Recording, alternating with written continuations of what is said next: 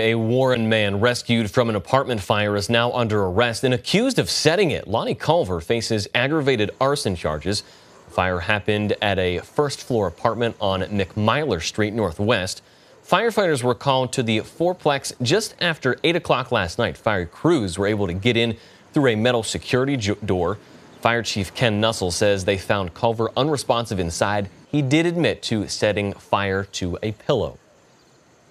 I can't speak for the occupant. I don't know what he was thinking, uh, but I'm just uh, happy that uh, our firefighters were able to get in there. Uh, nobody was significantly hurt. Chief says fire damage was contained to the first floor apartment. Culver is in the Trumbull County Jail. His arraignment is scheduled for tomorrow morning. Hi everyone, I'm Lindsay Watson. Thanks for watching the WKBN 27 First News YouTube channel. If you want more video news, subscribe to our channel and don't forget to download the WKBN 27 First News app for breaking news alerts.